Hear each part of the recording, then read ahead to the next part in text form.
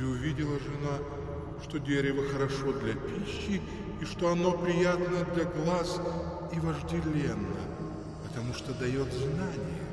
И взяла плодов его и ела, и дала также мужу своему, и он ел.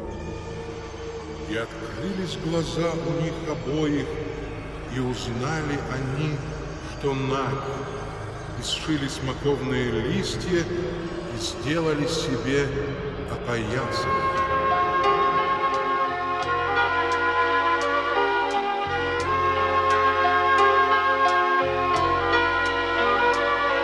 Ибо так возлюбил Бог мир, что отдал на смерть Сына Своего Единородного, чтобы всякий, кто уверует в Него, не погиб, но имел жизнь вечную.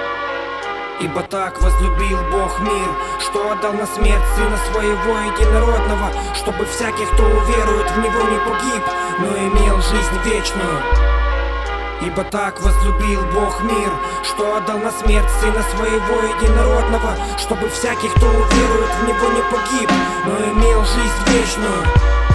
Родители новорожденных умирали всегда. В самый непредсказуемый день происходила беда. Седоволосый старик, пролетая сквозь года Сказал мне, никогда не говори никогда в детстве я видел умирающее семя В юности заметил дерево, с которым работало время. Для чего не плодовитые ветви Освещает зарево такому дереву Пора на визави, сохни вам. Суета, сует, сказал Соломон Все суета Работа человеческая для насыщения рта. Два человека в Эдеме не понимали слова нагота Зачем шить опоясание смокомного листа? Желанное познание добра и зла. Главная причина прихода Христа в мире преисподние места. Его святая кровь во искупление людского греха стекала с креста.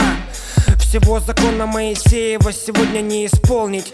Эра благодати снова заветнего листа Грехи поработили сегодня бедных и богатых. Благое семя сеется в измученных и виноватых. Князь этой планеты дьявол. Его работа вырывать Евангелие, чтоб сеять плевел. Идолов из золота и серебра Преподнесенных в умы людей, как невинная игра.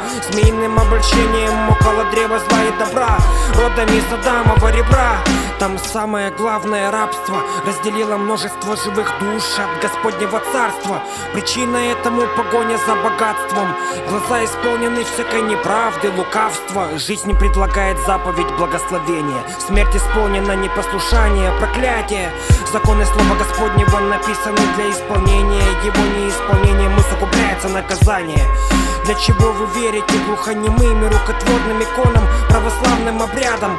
Грех и Бог не могут находиться рядом. В пролитой крови Христа навеки победа над адом. В пролитой крови Христа навеки победа над адом